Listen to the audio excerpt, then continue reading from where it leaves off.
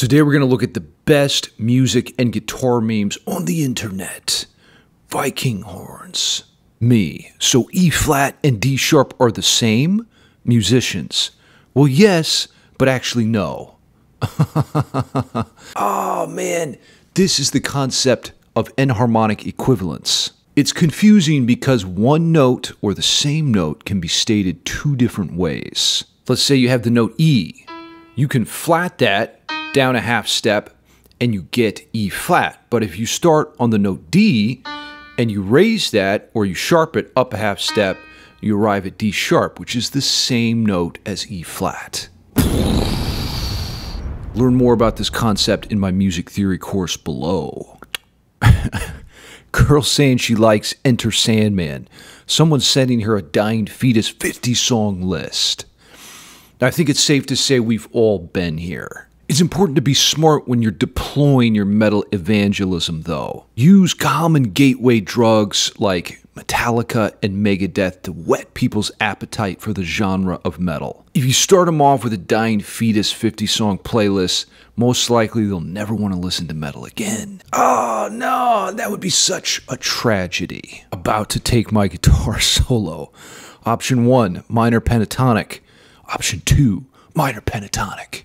Now, this is one of my favorite Squid Game memes that came out last year. It illustrates a very important point. A lot of guitar players are a bit uneducated and they only have knowledge of one scale type. Minor pentatonic is typically the first scale every guitar player learns. But it's a bit one dimensional. You know, I see scales as different flavors of emotion. Lydian brings a tear to my eye.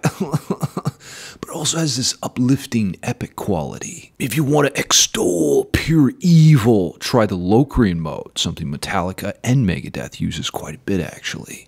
One of my favorite things to do is open my scale Bible, which you can get below in the description, cue up a drone, and then just play any scale that you like on the list and just listen to the emotional content. So much fun.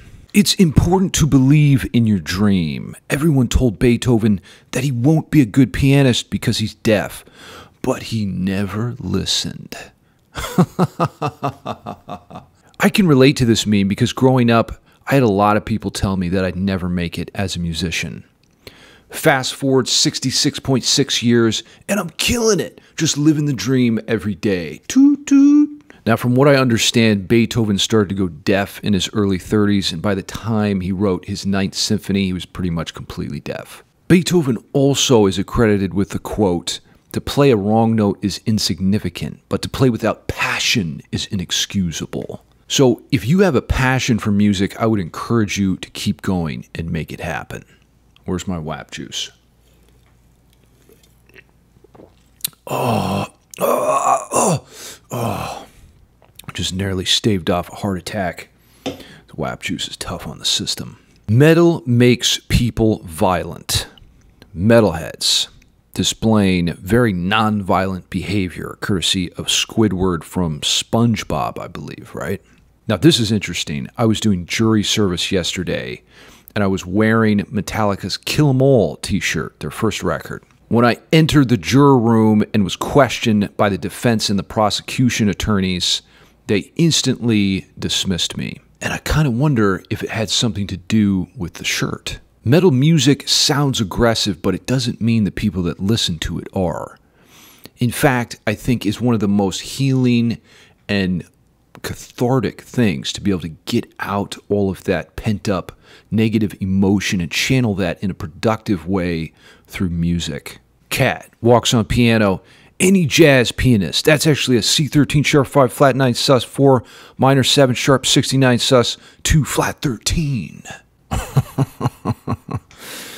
Uh, it is true that jazz people tend to take uh, theory very seriously. The way that I think about chords, though, is similar to scales. It's an emotion. How are you feeling right now? Do you know the right chords to express and articulate those emotions? If you do, then you have a complete command over the musical language.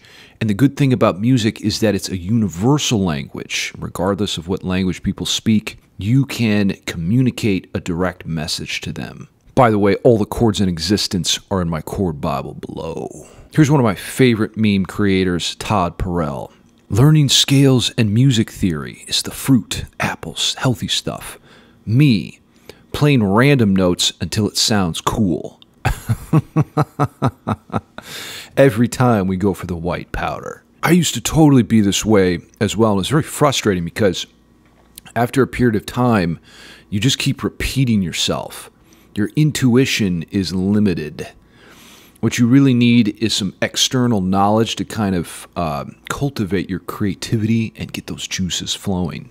Just a little bit of direction. Otherwise, you're essentially reinventing the wheel of music theory every time you pick up the guitar. Why not take advantage of all the past knowledge that's been accumulated? And in fact, that's what I've done for you in my music theory course below. when you practiced and you play worse than before. So the boys from Two Set Violin are hilarious. Shout out to them.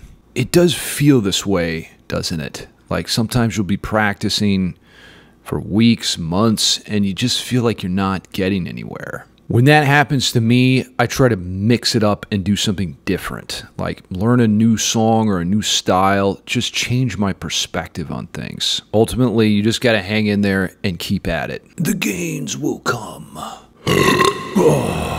Here's one of my favorite memes. Today, I'm going to show you some simple beginner guitar chords. The chords. They're crazy. You got to go like underneath the strings, through the fretboard, give yourself carpal tunnel. This is totally what it feels like when you first start playing. I remember picking up my father's acoustic guitar, and the action was roughly 69 miles off the fretboard. I straight up gave up for two years. It was that bad. And then uh, when I was 14, I got an electric guitar, and electrics are much easier to play. But I'm going to be honest, uh, chords are the best part of music, period. You know, you have melody, you have rhythm, timbre, texture. I guess you could assess the elements in different ways, but harmony, chords, that's where most of the emotional uh, quality of music lies. I love this meme right here. It's by Rock Metal Fan Struggles. Me, anytime I hear guitars going oh oh oh oh oh oh oh oh oh oh oh. The reason this meme is so great is because it's funny and true, but it points at a much deeper thing, which is tonality itself. It may seem simple, but chugging away on your open low string is what we call a pedal tone. It's simply a repeated pitch that signifies the foundation tonally of the music that you're playing. If you don't use pedal tones, what you end up with is atonal music. Now, I'm going to give you some good advice. Instead of trying to reinvent science and physics, just settle in your mind right now that OOO is the way it has to be. If you don't use references to the pitch in your music, no one's going to want to listen to it. This is brilliant. Drunk guitarist improvising his solo. Rest of the band.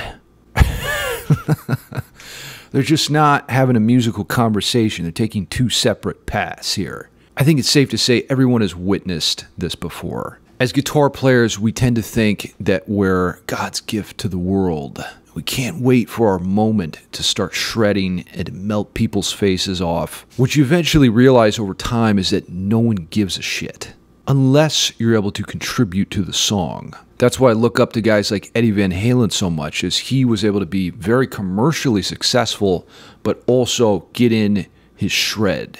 And this is why I always suggest to guitar players when they ask me how to get better at soloing, uh, the secret, shh, I mean, shh, is to outline chords.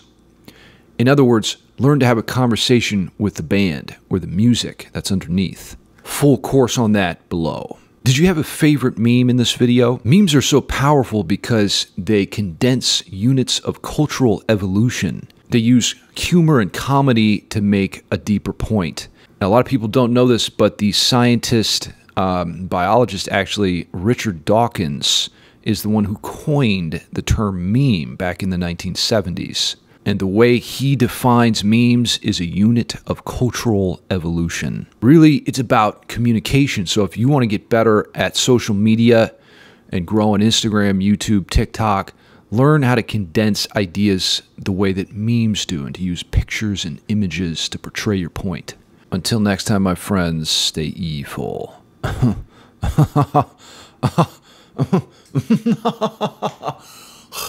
Why so sus lately, Shred?